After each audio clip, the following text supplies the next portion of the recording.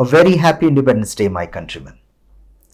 And not just our friends, our relatives in our country, but everywhere in the world, people who are free, who are independent, and are happy and satisfied with their independence.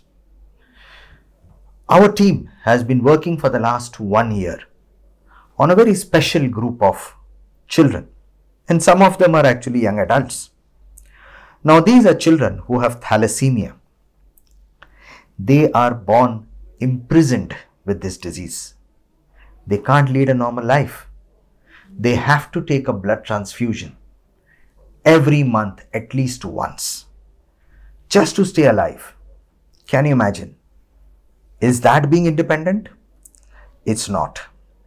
So last year, 2020, we decided to create a campaign to free patients, children suffering from thalassemia, to give them freedom from thalassemia. How to give them freedom is by doing a stem cell transplant, which today is the only time tested curative treatment for thalassemia. But it's not easy.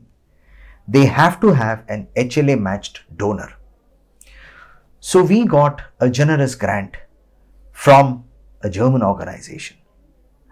And through that grant, that organization, that is BMST, DKMS, has been doing free HLA testing for some children.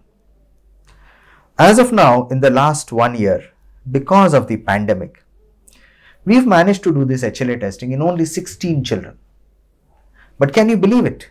Free HLA testing for the whole family and out of 16, two children now have matched relatives who have been identified.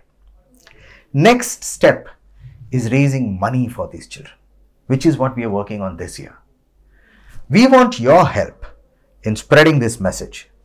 We want your help in informing parents of these children that their families can get free HLA testing done.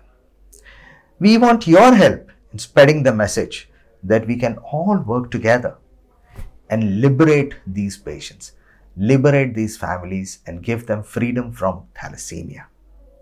Please call the number given below in this video and reach out to us for the same. Thank you.